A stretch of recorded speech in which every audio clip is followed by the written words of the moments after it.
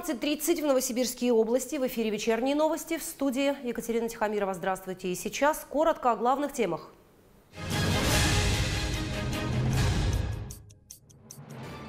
Стеллу «Город трудовой доблести» установят на площади Калинина. Как будет выглядеть памятник героизму сибирских тружеников? Первый прямой рейс в Турцию отправился после долгого перерыва. В какие страны теперь можно улететь из аэропорта Толмачева? Исследования при температуре 150 миллионов градусов. Сибирские физики укращают раскаленную плазму.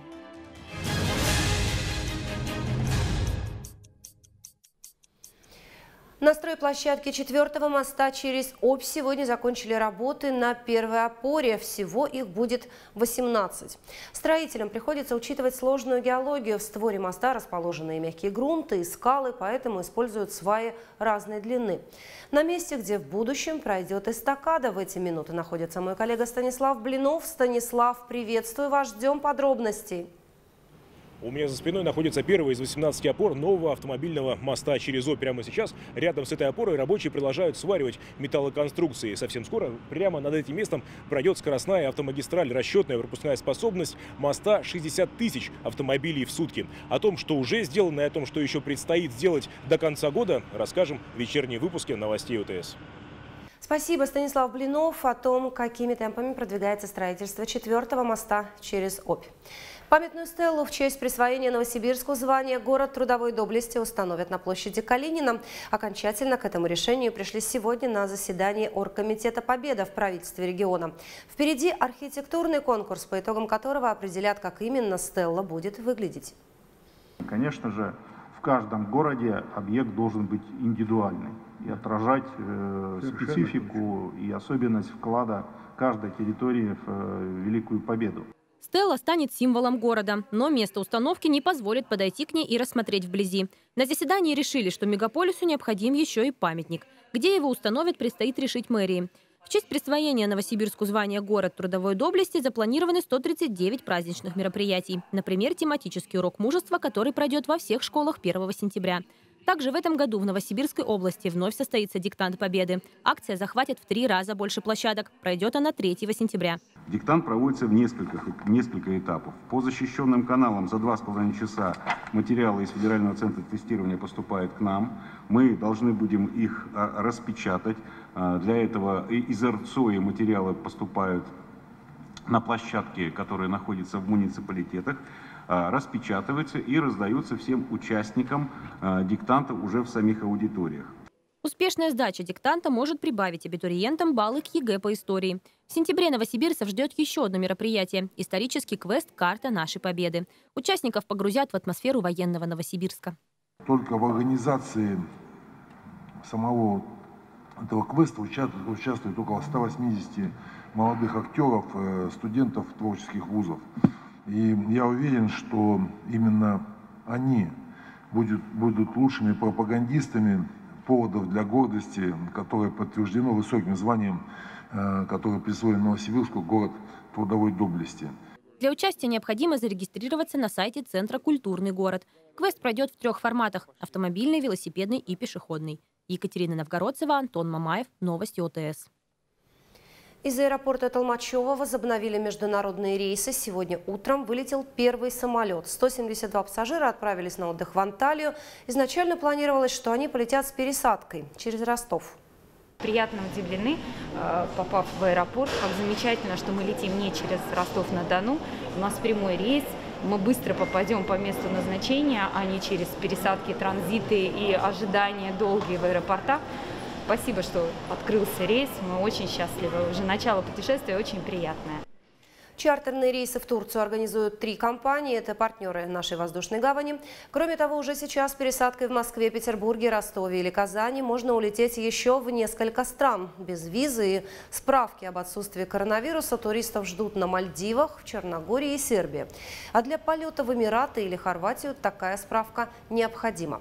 Пассажирам, которые прибывают в Новосибирск из других стран, необходимо заполнить специальную анкету и сдать тест на ковид в течение трех дней. Обновить оборудование, расширить штат сотрудников, повысить их зарплату. С этим может помочь региональный бюджет. Сегодня в Новосибирске стартует конкурс субсидий для малого и среднего бизнеса. Подробнее о мерах поддержки расскажет Александр Шпак. Шумит конвейер. За его работой следят 15 сотрудников завода. Один из продуктов завода – пластиковая геомембрана. От ее качества зависит качество жизни сибиряков. Например, ею выстилают котлованы мусорных полигонов. Если материал хороший, то он не будет пропускать э, ядовитую влагу, ядовитый рассол в почву. А значит, водоемы, которые питают города и села, не будут отравлены. Сфера использования геомембраны широка. Нужны они в строительстве золотых приисков, силосных ям, водохранилищ и самое близкое горожанам в строительстве дорог. Когда идет у них укладка, они формируют э, дорожный слой, полотно и потом прокладывают э, его для того, чтобы асфальт э, меньше разрушался. В том, чтобы продукт приносил пользу, заинтересованы не только коммерсанты, но и региональные власти. Так, в рамках региональных программ «Малый бизнес» и развития промышленности» завод «Промгеопласт» получил крупные субсидии. 5 миллионов в прошлом году и 4 миллиона в нынешнем. Благодаря инвестициям завод открыл еще одну производственную линию и нанял новых сотрудников. Это позволило увеличить выручку. За 6 месяцев выполнили годовой план прошлого года. Они а, планово и стабильно приближаются к цифре миллиард. А это само по себе, естественно, отчисление бюджет Новосибирской области, Новосибирска. На этом сотрудничество власти и бизнеса не заканчивается. Новосибирск ждут изменения. Строят крупные объекты, для которых необходимо государственно-частное партнерство. Будет строиться, уже строится четвертый мост.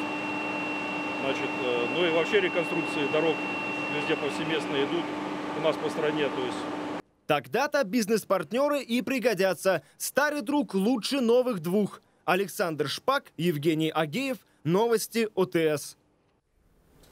Маршрут пригородного теплохода по Аби изменили с сегодняшнего дня. Это связано с понижением уровня воды в реке. Теперь теплоход, следующий по маршруту речной вокзал Седова-Заимка, не будет причаливать к пристаням Бибиха и Новая Заря. Такие ограничения областной Минтранс вводит ежегодно, что обусловлено климатическими условиями. А дальше в нашем выпуске расскажем о новом развлечении для кудряшовской детворы, урожае кукурузы и кто сегодня выйдет на ринг против сибирских боксеров. Оставайтесь с нами.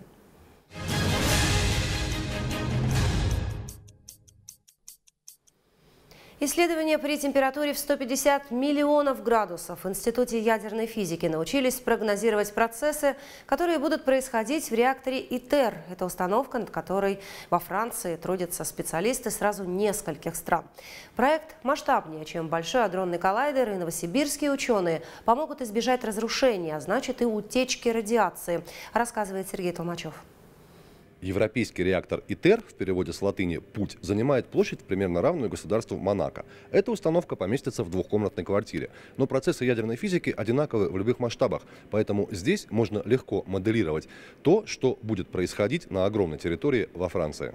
Пока там идет большое строительство, тысячи рабочих создают уникальный комплекс, которым будут пользоваться физики всего мира. Его называют «искусственное солнце». Ученые контролируют процесс создания вот таких колец. Именно по ним почти со скоростью света будут лететь потоки плазмы с температурой 150 миллионов градусов, а температура плавления вольфрама, которым выложены стенки реактора, всего 3,5 тысячи. Сгорит как спичка, если соприкоснется с плазмой. Поэтому ее направляют только по воздуху с помощью магнитного поля. Но неизбежно возникают импульсы энергии, которые бьют по металлу и очень сильно нагревают поверхностный слой. Установки вольфрамовое покрытие в Этере примерно 8 миллиметров а нагревается там, допустим, две десятых э, э, миллиметра. И разрушается при этом? Сразу не разрушается. Он э, возникает напряжение. И эти напряжения растягивающие, то есть они тянут, как бы рвут верхний слой.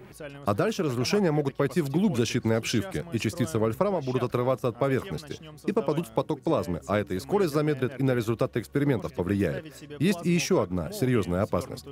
Вот эти небольшие микрочастицы все-таки имеют большую площадь, и они могут на свою площадь адсорбировать э, тритий. Тритий радиоактивный, ну и, соответственно, вот эта вот радиоактивная пыль с тритием будет осаждаться где-то в реакторе. И в случае его разгерметизации, например, она где-то распространится в атмосфере и создаст угрозу радиоактивного заражения. Просчитать эти процессы пока не смог никто в мире. Нашим ученым удалось смоделировать их с помощью мощного электронного пучка. Он буквально подсвечивает проблемные участки, на которых возможно разрушение, а значит предотвратит его. Это исследование наверняка позволит сделать международный реактор безопаснее. Сергей Толмачев, Алексей Зубила. Новости ОТС. В поселке Кудряшовский праздник для местной детворы открыли новый игровой комплекс. Это не просто детская площадка на свежем воздухе, целый городок, убедился Александр Попов. Вообще это самый спальный район в поселке Кудряшовский, самый спальный район был. А теперь у нас с самого с раннего утра и до позднего вечера здесь такой гам, шум, детский, детский смех. Ребятишки качаются в 7 утра. Оказывается, они здесь занимают очередь. И до позднего, до позднего вечера здесь прям реально стоит большая очередь покататься на этих качелях.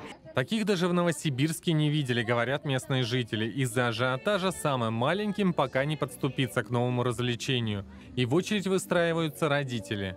Сейчас основное место пребывания это эта площадка. Загнать-то теперь домой детей. Тяжело, тяжело. Тут дома, говорят, уже оценили, что до 10, там, до пол одиннадцатого, ну, особенно дети, которые здесь живут, очень тяжело детей загнать домой. В дневные часы сюда стекается детвора со всего поселка. От этой площадки, конечно, все в восторге. Все дети допоздна, Оценили. не только этого двора, но и Да, других. всех, всех близлежащих. Знаем, где искать детей теперь на этой площадке. Не протолкнуться и на горке. По проекту была более простая конструкция. Получилась настоящая крепость. Потрудились, добились скидки от производителя и привезли более качественные э, детские горочки. с чем применяем? В связи с чем? Просто захотелось сделать лучше, красивее. Двор на улице Октябрьской благоустроен в рамках национального проекта «Жилье и городская среда». А У нас вообще план текущего года был изначально 167 объектов. Но благодаря той экономии, которую мы получили на торгах, у нас э, возможность в этом году выполнить уже 176. Мы 9 объектов прибавили. И даже те, которые уже получились в результате экономии, по ним контракты заключены, работы выполняются. И я уверен, что в сентябре они будут завершены. В ближайшее время строители закончат работы на площадках в Тагучине, Бердске, парке Южной Воскетиме. Это знаковые объекты. Крупнейшим из них будет Затулинский дисперсный парк в Кировском районе. Александр Попов, Алексей Погудин, Новости ОТС. Автобусы на особом контроле в Болотинском районе, проверки на дорогах после ЧП с участием пассажирского транспорта. В рейд с инспекторами отправилась и наша съемочная группа. Проверки на дорогах продолжаются. После серии происшествий с участием пассажирского транспорта теперь под особым контролем автобусы. Будет осуществляться проверка водителей на соблюдение режима труда, отдыха, на соблюдение прохождения медиков, механиков, также различных других нарушений. Проверки проводят специалисты Западно-Сибирского управления Госавтонадзора и Дорожно-патрульная служба Межрайонного отдела технического надзора. Проверяем карту диагностического техосмотра, то бишь полностью. После этого просим водителя, чтобы предоставил нам распечатку режима и отдыха труда по тахографу. При э, совместной работе оцениваем внешний вид водителя, то есть смотрим на усталость, э, выявляем внешние данные на алкогольное э, опьянение, наркотические. Кроме того, большую опасность влечет и перевозка грузов, вес которых превышает допустимые нормы. При э, составлении административного материала, например, там, на 2% дол- дол- должен быть перегруз, например, там, где вот ему положено 20 вести, например, там, да, 20 тонн. Он везет 40. То есть, или там 41, например, тонна, 42 тонны, например, там, да, везет. Это уже получается на 100% перегруз у, у автомобиля. Главная причина аварий – усталость водителя и, как следствие, невнимательность во время движения. говорить о существенном снижении количества выявляемых нарушений не приходится. Даже наоборот, в большей степени э, э, увеличилось количество, например, выявляемых нарушений, связанных с режимом труда и отдыха водителей. Только на сегодняшний день было выявлено 7 нарушений. Проверки на территории региона продолжат. Кристина Семерякова, Андрей Новоселов, Новости ОТС. В области в этом году родилась кукуруза и влаги и летнего солнца. Для початков оказалось предостаточно. Аграрии уже завершают уборку этой культуры. Из Двинского района сюжет моих коллег. Они все выполнены в этом году. Видать, влаги, сил хватило. всего. А это, это зерновой сорт. В початке семечко к семечку. Кукурузное поле радует глаз. Растения вымахали в рост человека. На отдельных участках собирают урожай больше 200 центнеров с гектара. Мы ее начали сеять 9 мая. То есть предпосылок на то, что заморозки весенние вернутся, уже не было. А потерять влагу с земли здесь было больше риска. Полный цикл всей технологической схемы. То есть вот подготовки почвы еще с осени прошлого года, а, то есть работа с химией, посев качественный.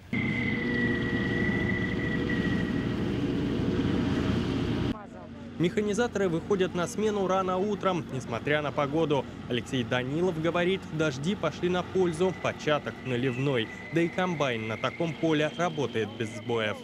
Эта техника, она и масса, и нужна масса. Она такая, которая мелкая кукуруза, она и жатко забивает. И... А так, когда хорошая кукуруза, она идет и идет. Убирать надо все равно. Хоть дождь, хоть грязь. Там что за погода дальше будет, неизвестно. Чем быстрее уберем, для нас лучше. А нам еще убирать не маленько. Тут три поля еще, три клетки хорошей кукурузы. Так что я думаю, зимовочка будет хорошая для скота. За смену механизаторы закладывают около 6 тысяч центнеров кукурузы на силос. Это месячная норма потребления животными хозяйства. Уже сегодня понятно, кормов хватит и молодняку, и дойному стаду на всю зимовку. За последние годы площадь по выращиванию силосных культур у нас значительно уменьшилась. Изначально где-то сеяли полторы, даже около двух тысяч гектар именно кукурузу, подсолнечник была. На сегодняшний день у нас 8, 800 гектар кукурузы. Это вот 4 хозяйства. Но это к сожалению. Конечно, это к сожалению. Это большая прибавка силосной молока. Хозяйстве Урюмская планирует завершить уборку кукурузы к концу следующей недели. Александр Шарудила, Галина Распопина, Сергей Шевченко. Новости ОТС.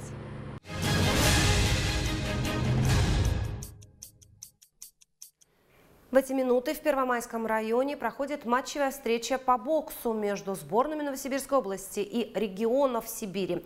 Соревнования проходят в необычном формате. Из-за угрозы распространения коронавируса ринг поставили под открытым небом. Александр Шарудила, наш спортивный корреспондент, готов выйти с места событий в прямой эфир. Саш, как слышите нас?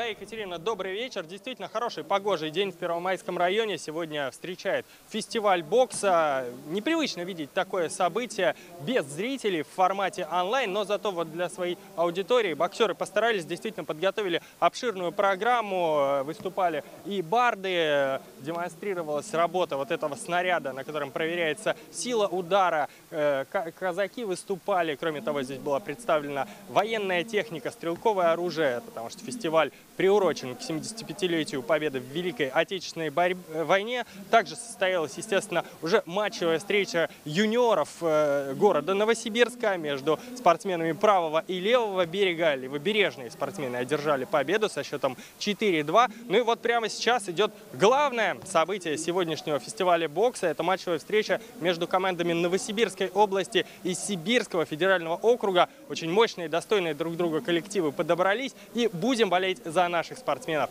Екатерина. Да, Саш, спасибо. Александр Шарудила о соревнованиях боксеров со всего Сибирского федерального округа. И на этом пока все. Следующий выпуск новостей в 20.30 на канале ОТС. Спасибо за внимание и до встречи.